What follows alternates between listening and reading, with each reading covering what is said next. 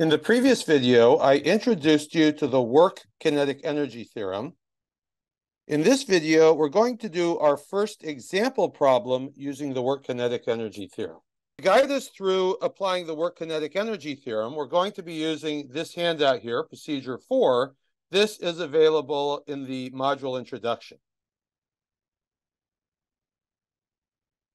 okay, so let's look at the problem we have a mass which starts out with some initial speed, which is given here. The mass is dragged through a distance of seven meters along a frictional horizontal surface by a rope, which is held at a constant angle 20 degrees above the horizontal. We are given the tension in the rope, and we would like to find the final speed of the mass. So let's go to the handout and see what it tells us to do. First step is to draw two pictures one illustrating the initial situation and one illustrating the final situation. Um, so we already have a figure, but we're going to start by drawing a clean figure, which illustrates what's going on here. So I start by drawing the mass over here, that's the initial position, and then draw the mass over here, that's the final position. And then having drawn the mass at the initial position and final position, I can connect them using the displacement vector.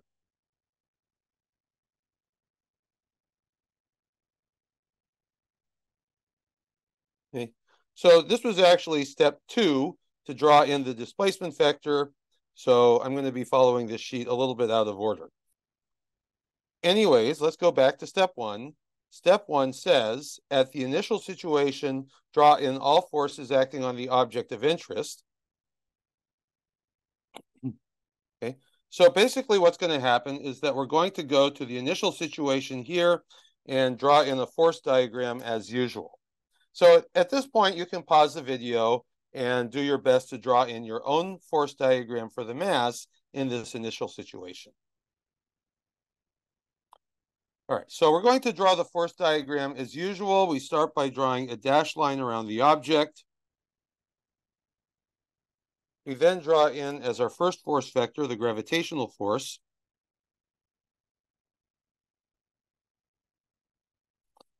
I'll put in magnitude mg.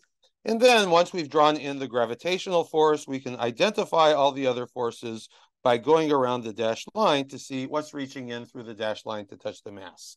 So up here, we see the string reaching in through the dashed line. So I put in a tension force, magnitude T. And then as you follow the dashed line around, you see the other thing reaching in through the dashed line to touch the mass is the floor. And in this problem, the floor is going to be exerting both a normal force and the frictional force. I'll put in the normal force first.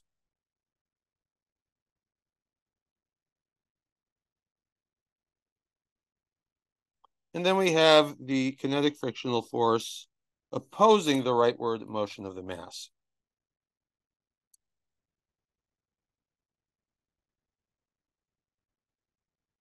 The magnitude would be mu k n.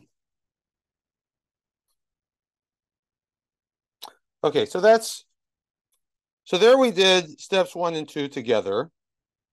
Now we go to step three, which is to separately compute the work done on the object of interest by each force acting on it uh, you may skip forces which do no work.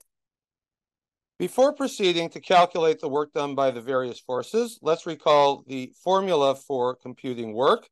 So if we have a mass which goes through a displacement d while acted on by a force F, and there is an angle theta between the force vector and the displacement vector, the work done by the force equals the magnitude of the force times the displacement times the cosine of the angle between the force vector and the displacement vector. Now, we've seen before that if there is a 90 degree angle between the force vector and the displacement vector, we then get cosine of 90 here, cosine of 90 is zero. So any force which is perpendicular to the displacement does a work of zero. So if we look at this figure, we can see right off the bat that the normal force and the gravitational force are perpendicular to the displacement vector. So we can say right off the bat that the work done by the normal force is zero and the work done by the gravitational force is zero.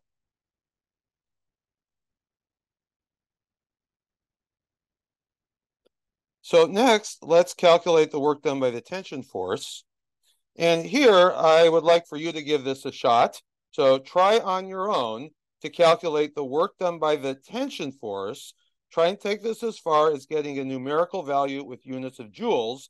And once you've given that a shot, then rejoin the video. Okay, so we're going to use this formula to calculate the work done by tension. So we have magnitude of the tension force, magnitude of the displacement vector, cosine of the angle between the two. Now, referring to this picture here, we can see that the angle between the tension force and the displacement is 20 degrees. So I'm just going to put in 20 degrees here. And then substituting these magnitudes, magnitude of tension force is given by 50 newtons. The displacement is given as 7 meters. And cosine 20. Right, so substituting all of this into your calculator, you will get a numerical value of 329, and then recognize that Newton times meter is joules. Okay, so we have work done by normal force, work done by gravitational force, work done by tension. Now we need to find the work done by the frictional force. And notice that in order to calculate the frictional force, we're going to need the strength of the normal force. And how are we going to get the strength of the normal force? To get the strength of the normal force, we're going to have to apply Newton's second law along the vertical direction here. So this is actually going to take us back to uh, Newton's second law of motion before we are able to actually complete our problem using the work kinetic energy theorem. So in order to do this, I'm going to introduce coordinate axes. So we're going to have x-axis, y-axis, and we're going to do a force balance along the y direction in order to find the strength of the normal force. So I would encourage you to pause the video here and apply Newton's second law along the y direction to try and find the magnitude of the normal force. At this point in the course, I'm assuming that you have plenty of practice with drawing the grids and so forth. So I'm going to do a version of this, which is a little bit abbreviated. I'm just going to say sum of y components of forces equals mass times y component of acceleration. Now, there's no acceleration in the y direction. All of the motion is in the x direction. So the y component of the acceleration is zero. So this becomes sum of y components of forces equals zero. All right, so now we're going to add up the y components of the different forces. And I said, because we've already had lots of practice with this, I'm going to skip the grid step and just write out the different y components. So the normal force points in the plus y direction, so its y component is just plus its magnitude, so plus n.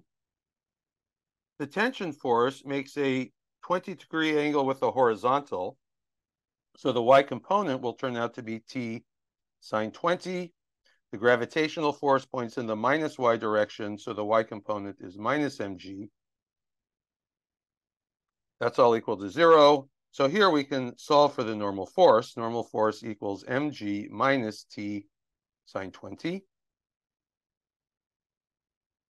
So substitute, we have 10 kilograms, g 9.8 meters per second squared, minus, I'll go to the next line, 50 newtons times sine 20. This gives me, for the normal force, 80.9 newtons. Okay, so now that we have this, we can calculate the work done by the frictional force.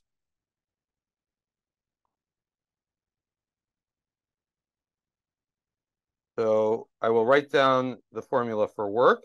In this case, it is the work done by friction. That will be equal to magnitude of the frictional force times magnitude of the displacement vector, and then the cosine of the angle between the frictional force and the displacement. And you notice that the frictional force vector here and the displacement vector here are exactly opposite each other. So the angle between these two vectors is 180 degrees. So I'm going to put in here cosine of 180. Cosine of 180 is minus 1. The magnitude of the kinetic friction force is mu kn. So the work done by friction, all of this reduces to coefficient of kinetic friction times magnitude of normal force times magnitude of displacement times minus 1. Let's go to the substitution now.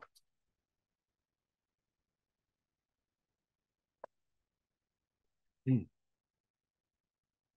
So we get then that the work done by friction is mu k over here at 0 0.30. Magnitude of normal force, whoops, 80.9 newtons.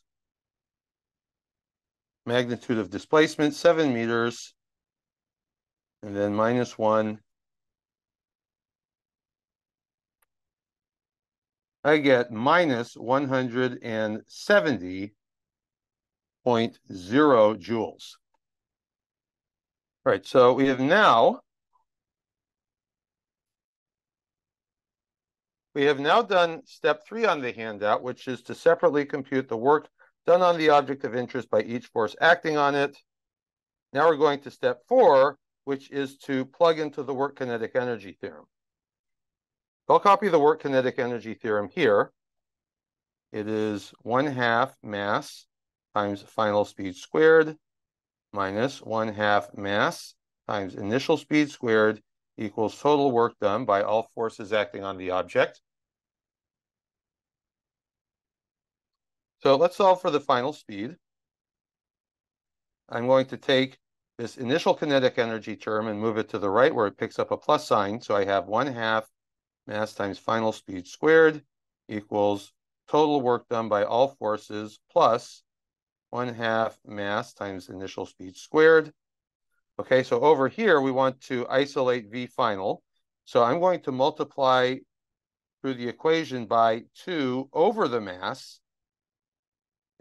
Now, when I multiply the equation through by 2 over the mass, and over here on the left, 2 over m and m over 2 cancel. So I just get V final squared. Over here, I get 2 times the total work done by all forces over the mass. And then in this term as well, 2 over m and m over 2 cancel. So I get plus initial speed squared. Okay, so now I take the square root of both sides. So final speed equals 2 times total work done by all forces, all of that over the mass, then plus initial speed squared, and then square root. Okay, now I can do my substitution. So I have V final equals 2. Now the total work done by all forces, let's add these together. That's going to be 329 joules minus 170 joules. All of that is divided by the mass, which is 10 kilograms. Then plus V initial squared, so 3 meters per second squared, and then all of that square root.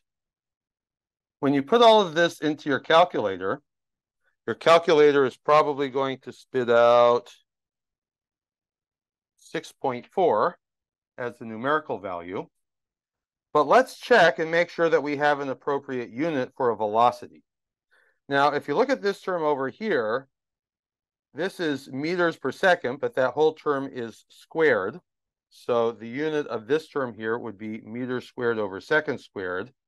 Now, what about here where we have joules over kilograms? Is that also meters squared over second squared? I'll do that off to the side here. So joules over kilograms. Let's recall that a joule is a kilogram times meter squared over second squared. That's all over kilograms. So, in fact, this has units of meter squared over second squared as well. So both terms inside the square root have units of meter squared over second squared, but then we take the square root. So we then get meters per second as our unit, as we would expect for a speed. All right, so now we have done our first example problem using the work kinetic energy theorem, and in the next video, there will be one more.